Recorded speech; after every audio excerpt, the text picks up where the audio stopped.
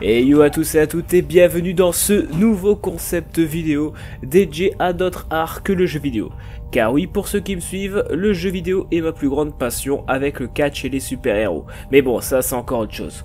Je ne dis pas connaître le jeu vidéo par cœur, mais je pense que c'est la culture que je connais le mieux dans le domaine de l'art. C'est également pour ça que je crée cette chaîne, pour partager ma passion. Mais cela ne m'empêche pas d'apprécier d'autres genres d'art, que ce soit le cinéma, les comics, les mangas, la littérature ou autre. J'adore tout ce qui touche à l'art et ce concept vidéo est justement là pour parler de ces différents domaines d'art où je vous présenterai et donnerai mon avis sur une œuvre de ce que j'ai aimé ou pas aimé sur celle-ci et pour que cette vidéo a un rapport avec le jeu vidéo, je vous dirai à quel jeu m'a fait penser l'œuvre en question. Pour ce premier épisode, je vais vous parler d'un roman du style trailer horrifique sorti le 14 juillet 2017. Très impressionnant. Qu'est-ce qui est impressionnant? Le concept vidéo? Oh non. Juste le fait que tu saches lire. Ah, c'est pas possible. Sérieux, Jaquette, pour une fois, tu ne pourrais pas dire quelque chose d'intelligent. Puis qu'est-ce que tu fais là, sérieux? T'avais pas quelqu'un à les torturer? Bah c'est ce que j'étais en train de faire, tu vois, j'étais même en train d'expérimenter une nouvelle expérience, à savoir combien de coups de pelle pouvait recevoir un être humain. Bah je peux te dire que j'ai pas été déçu du résultat. bon, bah je vais aller en tirer avec les autres. C'est ça, va faire joujou avec tes cadavres et laisse-moi faire ma vidéo, merci. Je ne suis pas un très grand connaisseur de littérature, mis à part les chairs de poule que j'ai dévorées étant petit et les Stephen King que j'ai découvert plus tard. J'ai toujours aimé lire des romans horrifiques. Je ne vais pas vous reparler de ma fascination de l'horreur que j'ai déjà expliqué dans ma vidéo sur euh, Sanitarium et Undying, dont vous pouvez retrouver la vidéo dans la description. Alors que je faisais mes courses tranquillement dans un supermarché avec ma copine, je vis un stand de dédicace où un livre avec la couverture d'un zombie était présenté. Au début, je ne présentais pas trop attention, mais au plus on passait devant, au plus mon regard était porté sur ce livre. Au final, on s'est approché du stand. L'auteur qui présentait ces livres s'appelle Paul Clément, un romancier français qui est passionné par l'horreur.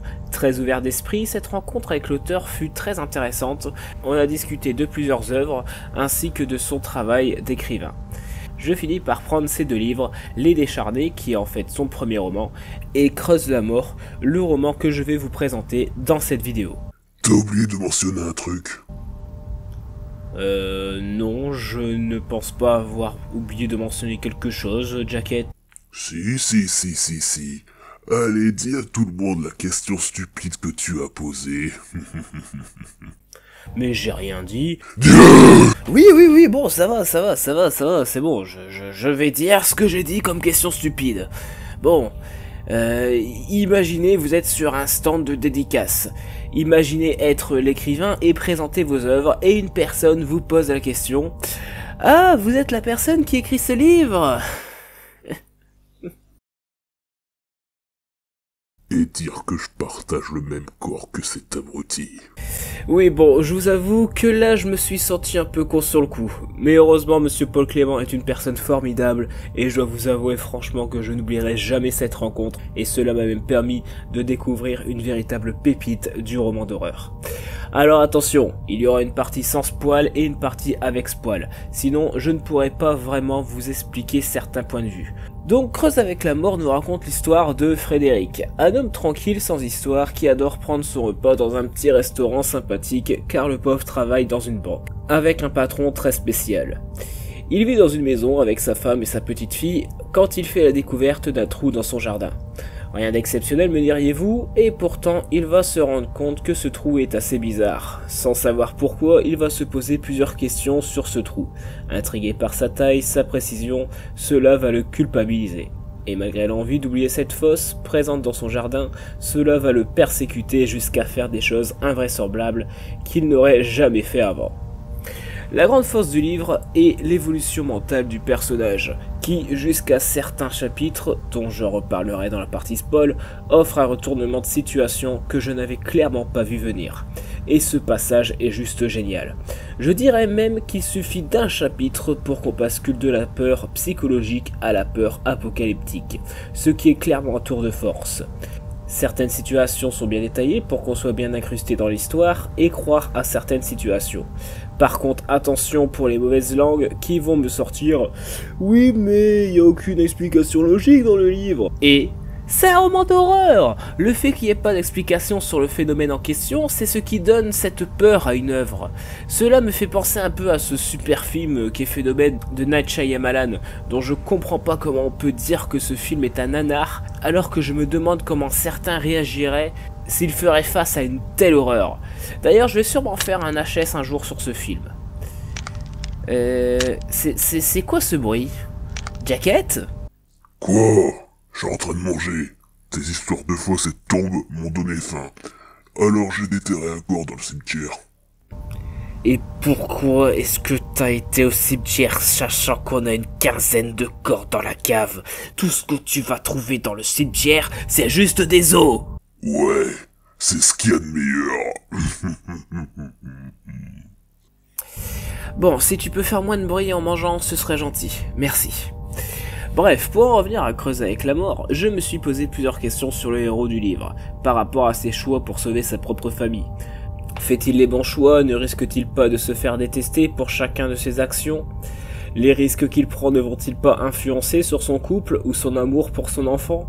Bref, énormément de questions que je me suis posées. Et dans certains passages, je me suis senti mal à l'aise pour le héros, car c'est le genre de personne qui s'inquiète seul d'une grande menace et que tout le monde s'en fout. Sérieux, je me suis senti mal pour lui, surtout à un autre moment précis de l'œuvre avec sa femme, dont je ne spoilerai pas, mais mon dieu le pauvre, surtout que la plupart des dialogues avec certains personnages sont excellents, que ce soit les dialogues avec son beau-frère, policier, ou encore avec un inconnu qu'il rencontre dans la rue pour un certain achat dont je ne dévoilerai pas l'intrigue pour vous laisser la surprise. Mais j'ai bien aimé ce dialogue. Il y a juste vers la fin où certains personnages ne sont pas beaucoup développés, mais vu le contexte de l'histoire vers la fin, cela est un peu logique donc assumé.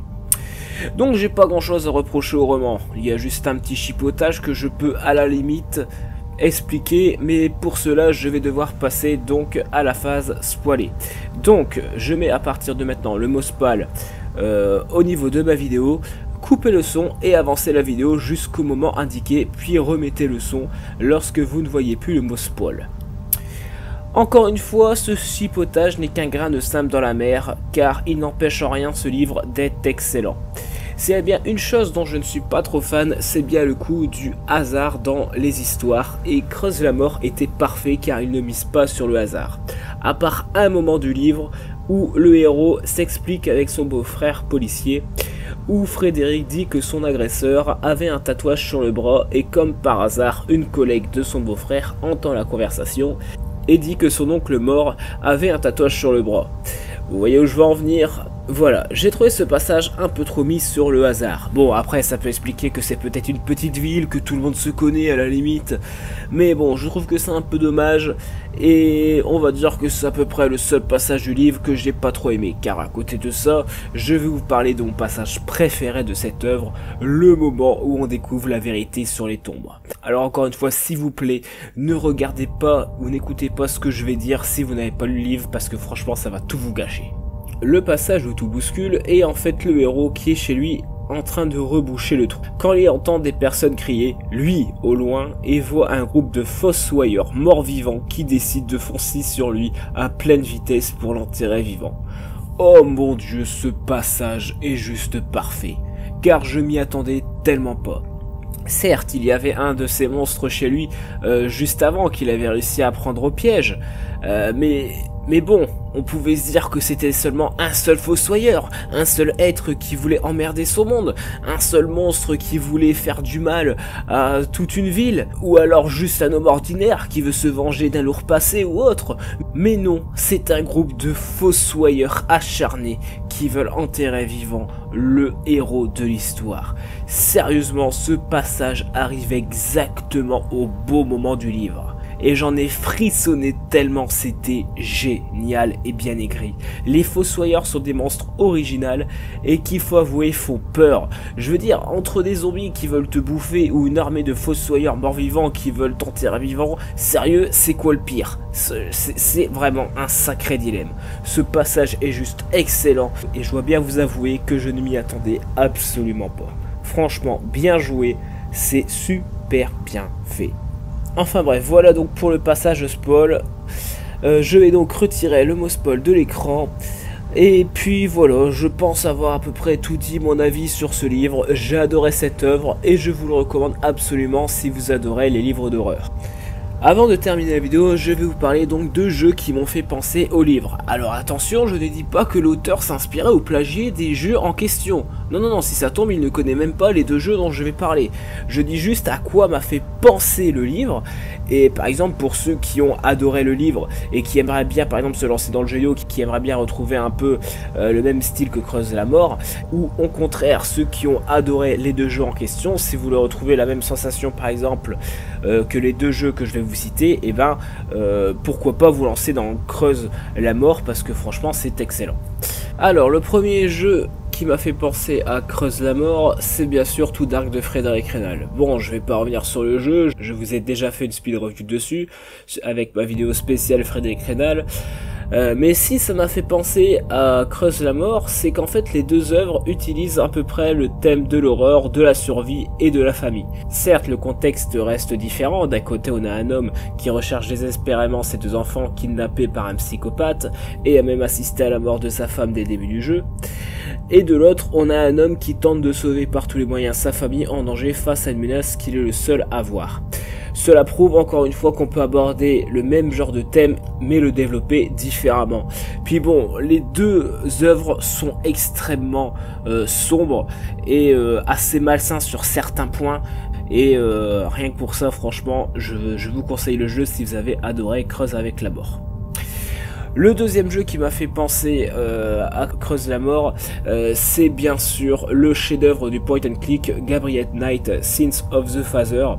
Bon, ok, le héros est complètement différent de celui de Creuse avec la mort. Ici, on a affaire à un écrivain beau gosse coureur de jupons. Mais si je mentionne le jeu, c'est que comme Frédéric du livre, Gabriel Knight est le seul à s'inquiéter d'un gros danger et que personne ne le croit. C'est-à-dire que dans le jeu, il y a plusieurs meurtres et que Gabriel enquête sur ces meurtres euh, pour écrire un livre sur le vaudou et va se rendre compte que les meurtres ont un lien avec le vaudouisme. Comme dans le livre, le héros a un ami qui est policier et comme dans le livre, le héros va en prendre plein la gueule et tentera de survivre vis-à-vis de la menace vaudou. Puis je vous avoue qu'un passage du jeu m'a fait penser à ce fameux passage du livre euh, que j'ai adoré mais je n'en dirai pas plus pour ne pas spoiler. Voilà donc pour ce premier épisode de hors sujet. J'espère que cela vous aura plu. N'hésitez pas à dire ce que je peux améliorer et si ce genre de vidéo vous plaît. N'hésitez pas à soutenir Monsieur Paul Clément. Je vous mettrai le lien de son site dans la description. Je vous remercie à tous d'avoir regardé. Je vous dis bye bye et la prochaine. Euh, Jaquette, tu fais quoi là avec mon livre? Oh, rien. Je regardais juste s'il y avait des façons différentes de creuser les trous. Et qu'est-ce que tu comptes faire avec ces trous